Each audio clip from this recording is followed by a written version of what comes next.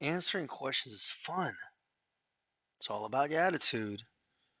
Pause your video, try another one. Very common mutation questions. What type of mutation? This is a gene mutation. All right, here's the original. Here's the original DNA. Here's the mutated DNA. Let's see what the difference is. Um, if they're going to give you um, the amino acids, then that's easy. Makes it much easier. You don't need the genetic code. You don't need to do transcription, translation. It's just just compare the amino acids. All right, so um, that's different from the original. That's different from the original. Uh, that could be different. So right now, if they're all different after a mutation point, I'm looking for frame shifts. All right, but let's confirm.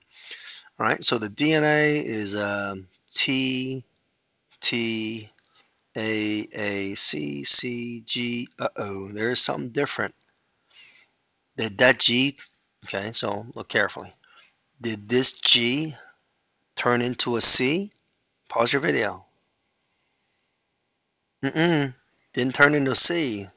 That C just shifted over. That A shifted over there. That T shifted over there. That G.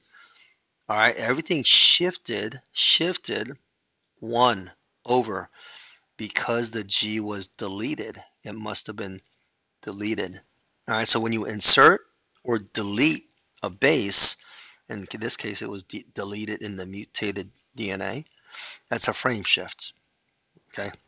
Nonsenses, what would that do? A nonsense mutation. All right, that would give you a stop codon, which would shorten the protein. So that's how you would know. That's not the answer here. All right, translocation is a chromosomal mutation. So that that's like, you know, you have two non-homologous chromosomes and, you know, you have like uh, an X gene. Um, I don't want to use X. Sure, let's just use like gene there and gene there and this gene ends up somewhere else like that. All right, it moved to a different, that's that's a chromosomal mutation, it's different. All right, what about missense? What, what does that do? It changes an amino acid, changes usually one amino acid. All right, here you're getting every amino acid after the mutation to change, so that's a frame shift.